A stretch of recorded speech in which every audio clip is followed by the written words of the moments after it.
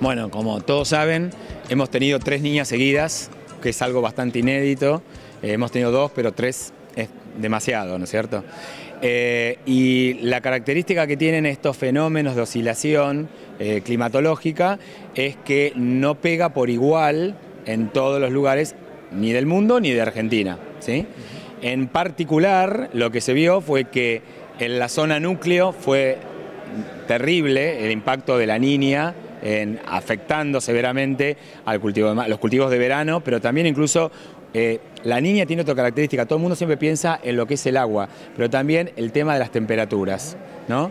Se vio algo que se espera que ocurra y es que la ventana de heladas, libre de heladas se achique. Por eso tuvimos las heladas en trigo, pero también las heladas a fines de febrero muchas veces no, no, zafaste con la fecha tardía, porque la fecha tardía siempre tiene los beneficios de que a fin de febrero el balance hídrico no siempre más, es más lluvia, también es menos demanda atmosférica.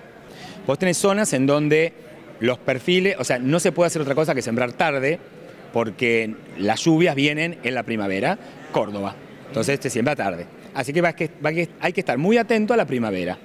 Ahora, en lugares como la zona núcleo, donde vos tenés la cosecha de agua del otoño más el completar de la primavera, si ya el otoño viene seco como viene ahora, no, es, no va a ser tampoco tan probable que aún en los mejores suelos de, de la zona de núcleo, el maíz temprano ande bien.